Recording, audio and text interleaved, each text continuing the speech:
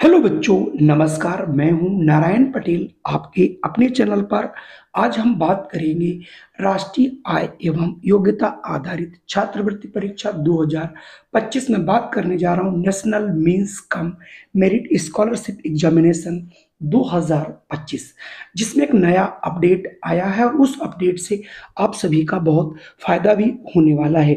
पहले आपको रिज़ल्ट बहुत बाद में मिलता था, अब आपको परीक्षा देने के बाद कुछ ही दिनों बाद रिज़ल्ट मिल जाएगा। ये कैसे पॉसिबल हुआ? पहले जो है, आपको एक सीट दी जाती थी, उस सीट में आपको करना क्या रहता था? क्वेश्चन जितने दिए रहते थे, उनके आप option A B C D या वन टू थ्री फोर हुआ करता था, उसे आपको लिखना होता था। अब ये सारी व्यवस्थाएँ खत्म करके आपको एक ओ एम आर सीट दी जाए, दी जाएगी, जिसमें आपको गोले ब्लैक करने होंगे। तो पहले कैसे सीट थी और अब कैसे सीट में बदलाव हुआ है, और उसी के अनुसार आपको परीक्षा देना है। अगर आप ये देख लेते हैं तो आपको परीक्षा में काफ़ी आसानी होगी और उसी हिसाब से आपको परीक्षा देनी है। तो आइए, ले चलते हैं आपको स्क्रीन पर दिखाते हैं पहले और अब में क्या अंतर और कैसे आपको ओ एम आर भरना है। बच्चों तो आपके सामने ये पहले की ओ एम आर सीट है, जिस पर आपको आपने अपनी प्रैक्टिस कर रखी सभी को पता है बच्चों, इसमें आपके लिए 180 प्रश्न आते हैं, जिस 90 प्रश्न आपके जो है रीजनिंग के रहते हैं और दूसरा जो शैक्षिक भाग होता है 90 प्रश्न इसमें रहते हैं, यानी एक से लेकर के 90 तक और इक्यानवे से लेकर के 180 तक रहते हैं। ये तो आपको पता है। इसके लिए भरना क्या रहता था, वो भी मैं पहले बता दूँ। और अब क्या भरना है, ये चीज़ें तो आपको करनी पड़ेंगी। जैसे आपका अपना परीक्षा केंद्र का नाम जो भी आपको एडमिट कार्ड मिलेगा, उस पर जो लिखा होगा, आप उसका शॉर्ट फॉर्म लिख सकते हैं। अभ्यर्थी का नाम, अपना नाम स्पष्ट शब्दों में लिख देना है अंग्रेज़ी के बड़े अक्षरों में और अपने पिताजी का नाम। इसके बाद राज्य का कोड, जैसे आप उत्तर प्रदेश थे तो मान लिया आपका इक्कीस है राज्य कोड तो आप इक्कीस यहाँ पे डाल लेंगे। वर्ष कौन है तो आप 2025 यहाँ पर भर लेंगे। उसमें भी यही आया है, ये भी करना है, जो चीज़ें करनी वो मैं बता दे रहा हूँ। उसके बाद परीक्षा केंद्र, मान लिया आपका जिला जो भी हो, लखनऊ है तो लखनऊ का एक केंद्र निर्धारित होगा ज़ीरो ज़ीरो टू फाइव। अगर पच्चीस दिया है तो आपको ज़ीरो ज़ीरो टू फाइव लिख देना है। अनुक्रमांक आपको जो भी आपकी सीट आएगी, उस पर आपका अनुक्रमांक आपका लिखा होगा, जो आपका एडमिट कार्ड है, वो आप यहाँ पर भर दोगे। उसके बाद जन्मतिथि भी आपके एडमिट कार्ड पे लिखी होगी, वो यहाँ से भर देनी है। उसके बाद आप मेल अथवा फीमेल भर देंगे, जाति अपनी भर देंगे। यहाँ पर numbers one two three four भरने पड़ेंगे या फिर वहाँ पर आपको काले करने पड़ेंगे। एरिया आप ग्रामीण से आते हैं कि शहर से आते हैं, ये भी आपको भरना पड़ेगा। बाकी आपका चुनौती वाला है, नहीं तो आप उसको छोड़ देंगे। अगर कोई बच्चा स्वतंत्रता संग्राम सेनानी से उससे आता तो वो यहाँ पर कर लेंगे। इसके बाद आपको यहाँ पर अभ्यर्थी का एक साइन करने को मिल जाता ये आपको करना रहेगा। तो देखिए, पहले क्या करते थे? हम लोग, मान लिया कोई प्रश्न आया कि भाई, भारत की राजधानी क्या है? तो भारत की राजधानी उसने मान लिया दे दिया आपको दिल्ली, आगरा। पहले समझ लीजिए बस, अभी एक मिनट लगेगा। आगरा, लखनऊ, है ना? भोपाल। तो आप, अब इसमें ऑप्शंस दिए रहते थे, एक, दो तीन और चार। तो आपको पहले क्या करना रहता था बच्चों?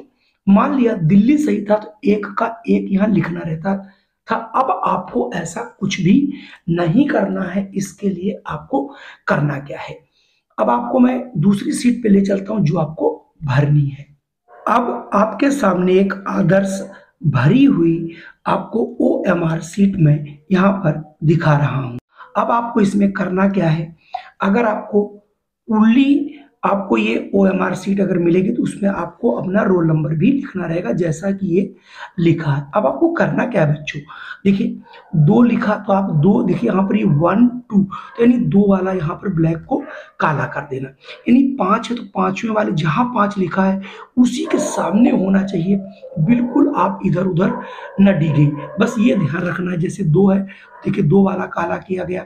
अगर आपका पाँच है तो देखिए, पाँच को ज़ीरो है तो देखिए सबसे नीचे ला करके ज़ीरो है, यानी एक से लेकर के नौ तक सबसे नीचे ज़ीरो दिया गया। फिर आपका अगर दो आता है तो आप दो को क्या करोगे? दो नंबर वाले को एक नंबर तो एक, पाँच को पाँच, ज़ीरो तो फिर नीचे आपको लाना पड़ेगा।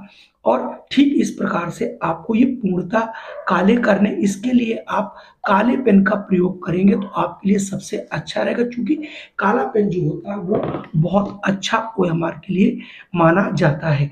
बुकलेट नंबर आप इसी तरीके से भर लेंगे। अब आपको हम आते हैं, प्रश्नों की बात बताते हैं, प्रश्न आपको करने कैसे हैं।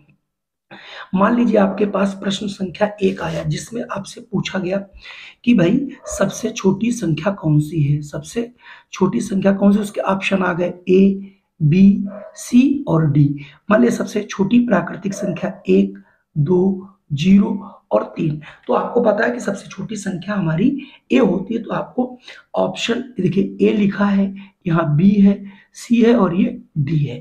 तो आपको तुरंत ऑप्शन ए वाला पहला सही है। तो इस ए वाले को आपको अपने ब्लैक वाले पेन से निकाल करके इसको काला कर देता है, कर देना जैसा कि मैं आपको यहाँ पर काला करके दिखा रहा हूँ। मतलब आपको ठीक इसी प्रकार से सारी चीज़ें वहाँ पर भरनी होंगी जिससे आपका कोई भी चीज़ गलत ना हो। अगर आप तनिक भी गलती करोगे तो आपके लिए, और अगर ये बाहर निकल जाता, आप काला नहीं कर पाते हो तो आपकी कॉपी चेक नहीं होगी। और ऐसे प्रश्नों को करने के लिए आपको एक सावधानी रखनी रहती है, वो सबसे बड़ी है। आप जिस प्रश्न को कर रहे हो, ये ध्यान रखना, मान लिया आपने प्रश्न संख्या ग्यारह कर रहे हो, तुरंत आप ग्यारह के सामने उंगली रखिए, और उंगली रखने के बाद मान लो हमें डी रंगना है तो डी का, पहले मैं बता दूँ, जैसे मान लीजिए ये डी लिखा है इसके अंदर।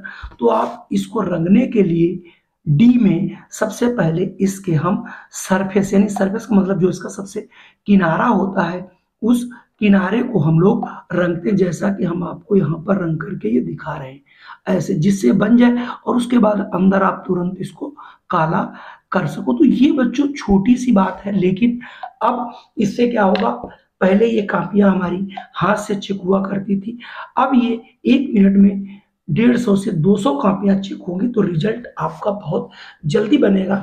रिज़ल्ट भी आपको जल्दी मिलेगा और इसमें कोई भी गलत होने का कोई चांस भी नहीं रहेगा और उसमें क्या ह्यूमन इरर भी हो सकता था। टीचर्स सभी कापियाँ चेक करते थे, उसमें गलती होने की संभावना पार्शियलिटी होने की संभावना हो सकती थी, लेकिन अब यहाँ से कोई भी संभावना आपके लिए नहीं रहेगी। तो ये छोटी सी जानकारी थी। अगर किसी को समझ ना आया हो वो हमें कमेंट करें। हम उन्हें दोबारा उस कमेंट पर जवाब भी देंगे और उनके लिए एक नेक्स्ट वीडियो भी बनाएँगे। जय हिंद बंदे मातरम। फिर मिलता हूँ आपको एक नई अपडेट और नई वीडियो के साथ।